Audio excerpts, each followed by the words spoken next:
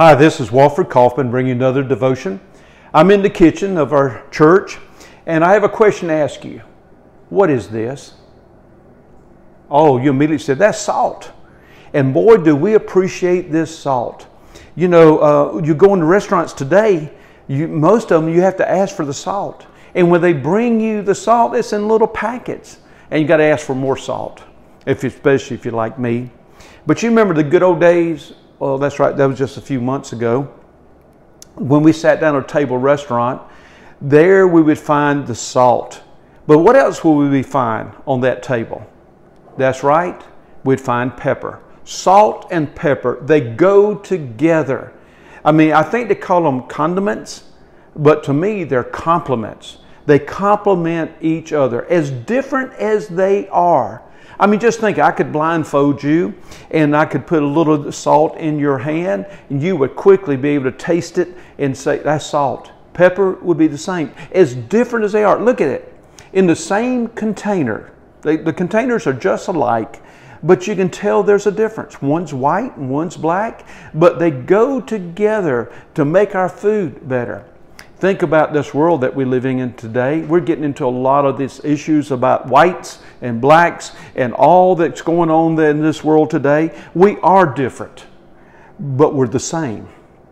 God created us and He's made us to complement each other. We need to go together to season this world, just like these two come together to season our food to make it so much better.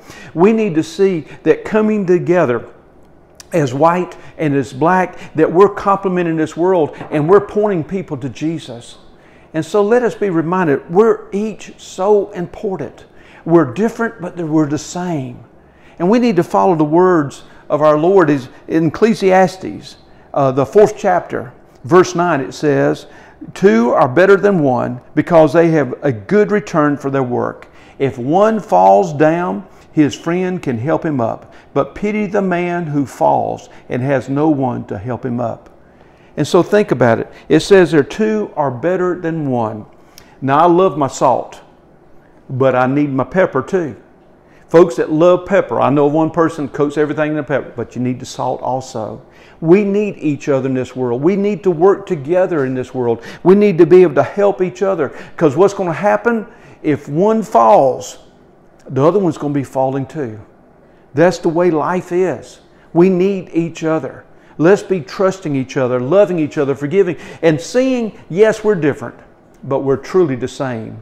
We're both made in the image of God. And I used that word both, and I thought everybody is made in the image of God. Red and yellow, black and white, and every color in between.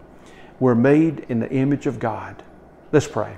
Heavenly Father, teach us to love each other, to appreciate the difference in each and every person but then let us realize we need to be together to complement this world, to give a taste of your glory, to give a taste of your love and your forgiveness. Lord, guide us this day. In Jesus' name, amen. Taste God's goodness. I think it's going to be very special.